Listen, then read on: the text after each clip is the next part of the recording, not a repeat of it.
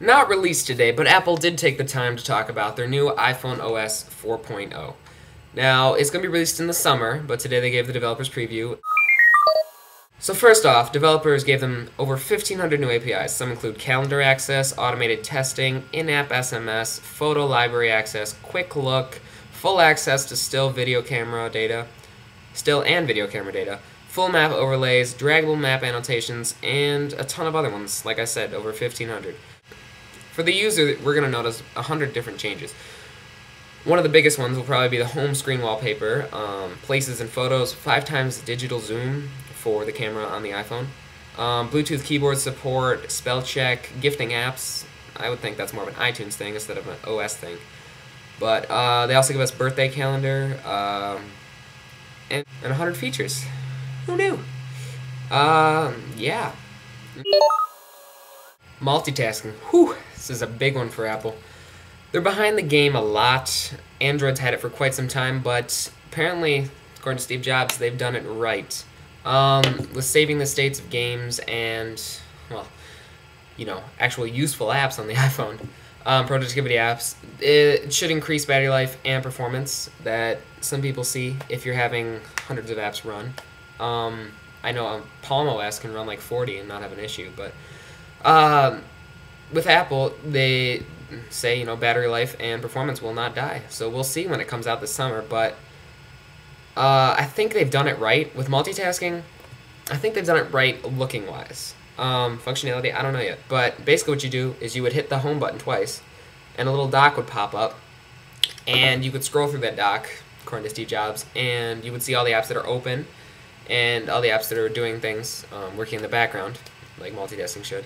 And I guess that, that looks pretty cool. Um, but it also, when you hit it, it takes up screen real estate. It's, I don't know. You wouldn't have it open all the time, but it's a small screen already. Apple needs to make bigger screens on their devices. I think it will look really, really nice on the iPad. Um, and I think that's where it will definitely take off, as well as the iPhone. But we'll see when it comes out in the summer. I mean, let's hope Apple did it right. They're behind the game, but I'm sure they can step it up.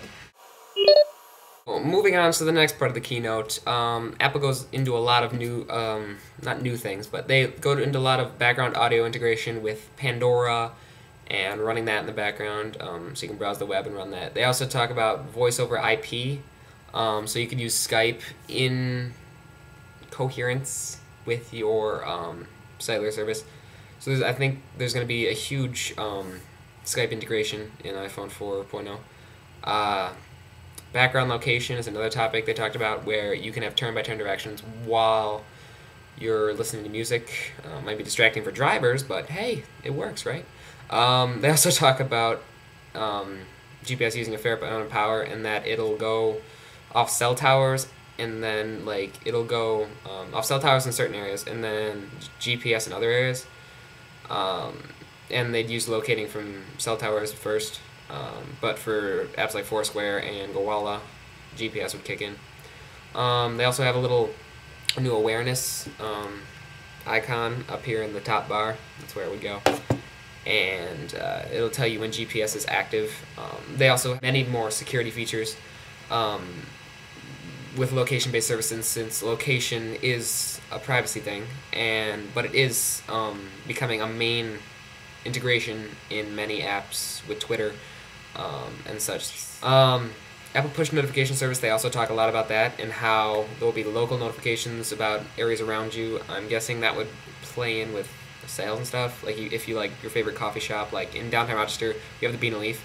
They could send us a local notification um, that they're having like you know free coffee, right? Yeah, I wish, but uh, push notifications not my thing. But they seem to be doing a lot of stuff with push notifications. Now I have an iPod and push notifications on here suck. Um, the Wi-Fi is, you know, it's on and off. As soon as you like sleep it, it goes off, or so it seems like. And as soon as I wake it up, there's like push notification, but there's nothing I can do about it. I mean, I guess it'd be different with an iPhone, but if you're having multiple push notifications, it seems like they get all clogged up because there's no real, you know, you just you can only see one at a time. Um, and then fast app switching would be another point that they go over, and they demo like uh, tap tap.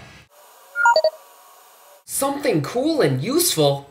Yes, Apple did it again. Um, they have folders now where that 180, you know, app limit because you know you need more than 180 apps on your iPod, you know, because everyone uses over 180 every day. Um, they've done it where you can drag it into folders and sort your games and such. I guess I mean if you had a lot of games like I do, you put them all in folders, which would cut down on home screens because you know scrolling side to side takes some time. And with this, you could basically drag one app onto the other. It'll name it games automatically with its intelligent naming, and you can change your 180 app library on your iPhone into what they say here 2,160 apps, which it's a lot of apps.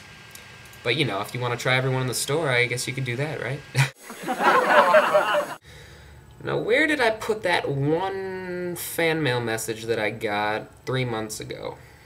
Hmm. Alright, for that one person that watches my YouTube channel, you can organize um, mail um, from different accounts and such in the new iPhone, iPhone 4.0 OS.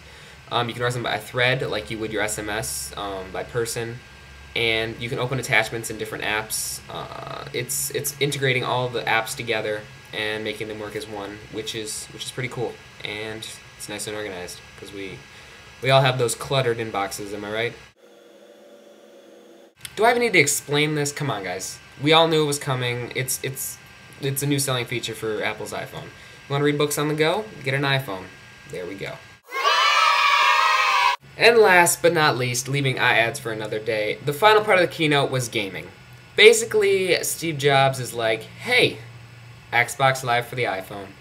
Um, including several things such as achievements, leaderboards, um, friends, and basically bringing social networking to gaming on the iPhone.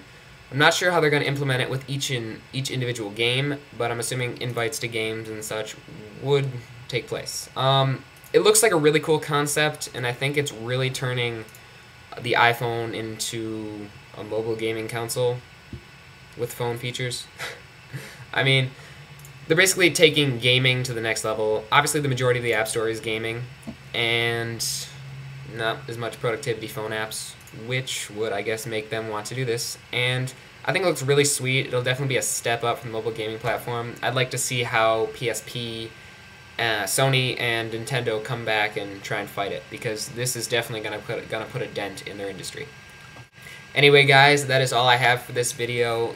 iAds will be in another video coming up. Um, the new mobile advertising attack against Google, pretty much.